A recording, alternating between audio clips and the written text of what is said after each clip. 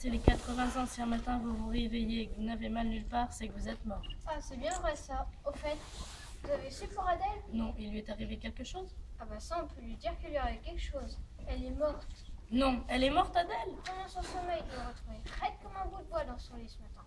Ah, Et moi qui l'avais encore vue hier soir, je vais me souhaiter bonne nuit. Ah bah ça lui a parlé aussi. Si vous me croisez ce soir, évitez de me dire bonne nuit. Oh, mais vous êtes encore jeune, Henri. Ça vous fait combien maintenant? 96 ans, j'y vais lentement, mais j'y vais. Ah, Je pensais que vous étiez plus jeune que moi. Et oui, il fallait bien que ça arrive un jour. De quoi?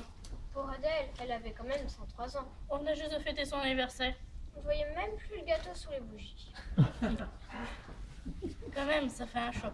Qu'est-ce que vous voulez? On n'est pas éternel. Pas encore, malheureusement. Pas encore? Vous n'avez pas lu l'article dans notre temps? Quel article? À propos des méduses? Méduse Oui. Naturotopsie nutricula. Tartine de Nutella Écoutez ça. D'après les scientifiques, à ce jour, c'est le seul être vivant connu pour être immortel. Il est capable de reconfigurer ses cellules vieillissantes en de nouvelles, ainsi il conserve une éternelle jeunesse. Il se multiplie à travers les mers et les océans, provoquant une panique surnaturelle dans la communauté scientifique. Au point qu'un spécialiste a déclaré Il faut que le monde se prépare à cette invasion silencieuse. Et il s'appelle comment le scientifique qui a découvert ces méduses David Vous vous rendez compte si un jour on nous grefferait un ou deux gènes de ces bestioles, nous aussi on pourrait devenir immortels. Ou alors on nous mettra en pisciculture pour faire des sushis éternellement frais. Il paraît que les Japonais en raffolent de sushis à base de méduses. C'est pour ça qu'ils vivent aussi vieux Mais redescendez un peu sur Terre, non? On nous rabâche à longueur d'année que si notre système de retraite est en faillite, c'est à cause de la multiplication des centenaires. Et vous croyez qu'ils vont nous greffer des cellules de méduses pour nous rendre immortels Oh, on a bien le droit de rêver un peu. hein. À notre âge, c'est tout ce qui nous reste. Au lieu d'être transformé en ectoplasme. Au fait, ça ressemble à quoi des méduses? Comment?